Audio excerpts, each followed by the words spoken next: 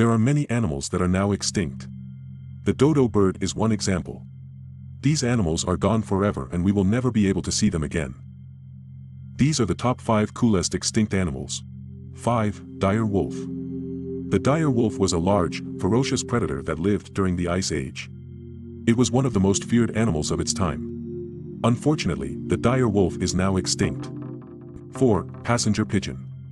The passenger pigeon was once the most abundant bird in North America, with a population in the billions.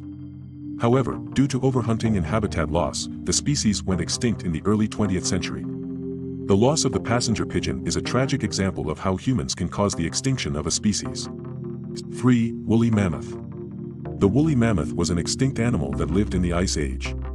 They were huge, furry creatures that lived in cold climates. They became extinct because of the changing climate and the ice melting. 2. Quagga. The quagga was an African subspecies of the plain zebra. It was distinguished from other zebras by having only partially striped hindquarters. The quagga was hunted to extinction in the late 19th century. The quagga was the first extinct animal to have its DNA analyzed. 1. Dodo bird. The dodo bird was a native animal to the island of Mauritius.